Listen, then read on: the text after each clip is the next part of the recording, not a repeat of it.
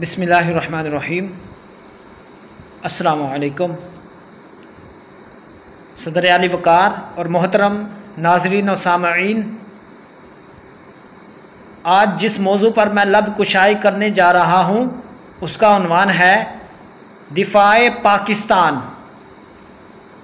हमको तो जानो दिल से अपना वतन है प्यारा।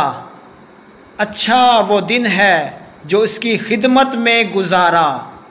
कहते हैं हम वतन को आँखों का अपनी तारा। वो दीन है हमारा, ईमान है हमारा।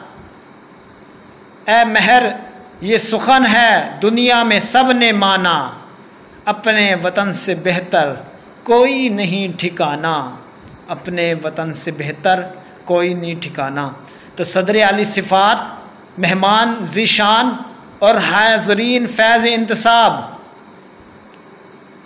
वतन ईमान होता है और ईमान की हिफाजत जान से बढ़कर करना हर साहिब ईमान का फ्रीज़ा है।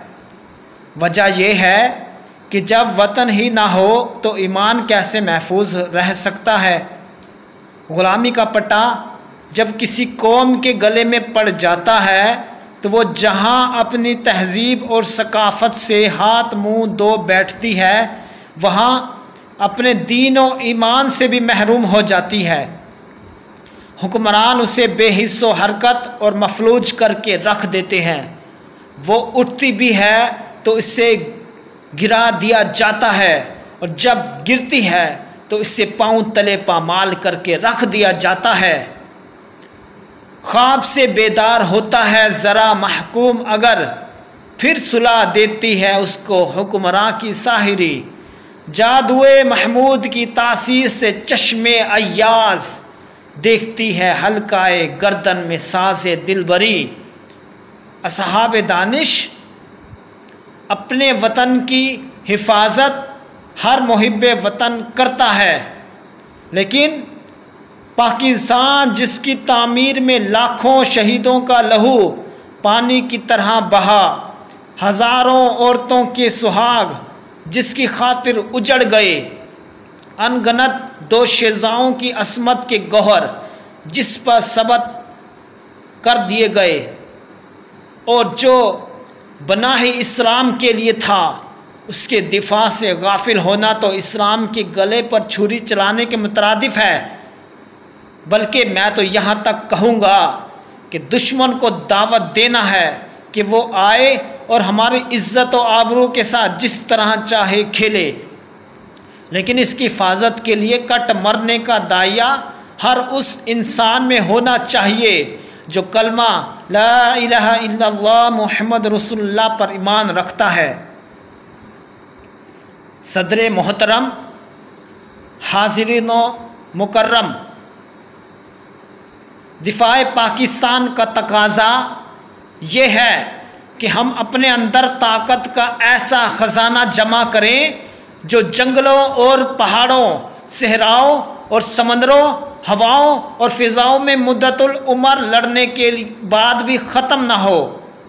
हमारे पास इश्क मुस्तफ़ा सल्लल्लाहु अलैहि वसल्लम से सरशार, शहादत का तलबगार, वो लश्कर जरार मौजूद है।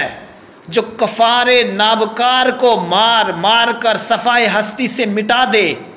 हमारी फ़ौज जफ़र मौज जब मैदान में उतरे तो सहराओं का दिल दहल जाए, पर्वत काँप काँप जाएँ और समंदर हमारी हैबत से पानी पानी हो जाएँ।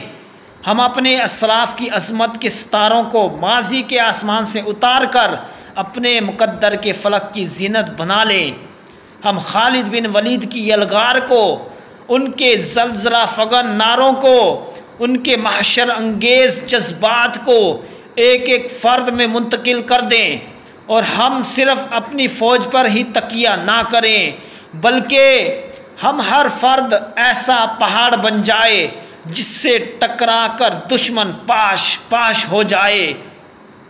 ऐसा सैलाब तंदो तेज़ बन जाए जिसमें दुश्मन की शान व शौकत खसो खशाह की तरह बह जाए, ऐसा तूफ़ान कहर आलूद हो, जो दुश्मन की तन आवरी को जड़ से उखाड़ फेंके।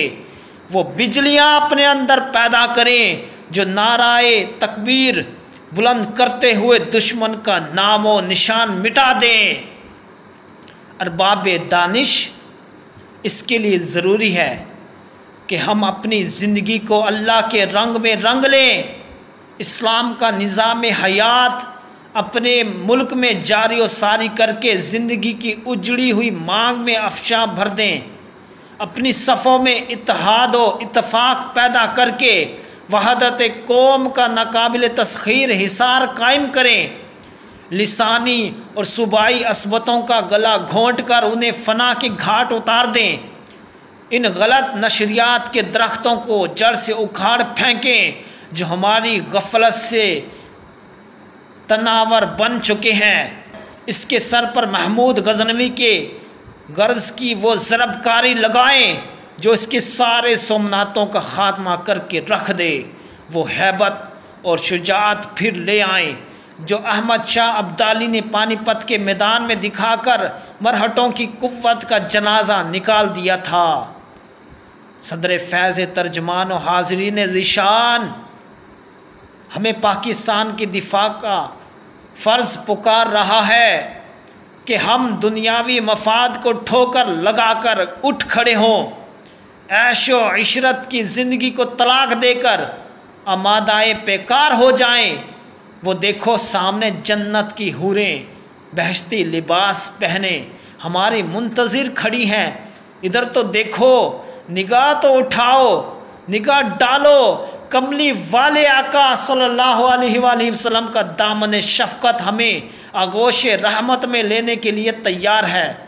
ज़रा ऊपर तो निगाह करो, व रब्बुल इज़्ज़त, रब्बुल आलमीन की नुसरत हमें सदाएँ दे रही है, हमें सरमदी पैगाम सुना रही है कि सारी कायनात के दरख्त कलम बनकर हमारी फ़तह कामरानी की नवीद पर सबत करने को तैयार खड़े हैं। क्या इससे बढ़कर भी कोई मदद हो सकती है? क्या इससे भी बढ़कर कोई मदद हो सकती है? सुनो, रूह इकबाल हमें अपने लाफानी कलाम में लाफानी पैगाम दे रही है। उठ के अब बस में जहाँ का और ही अंदाज है। उठ के अब बस में जहाँ का और ही अंदाज है। मशरक़ व मगरब में तेरे दौर का आगाज़ है। मशरक़ व मगरब में तेरे दौर का आगाज़ है।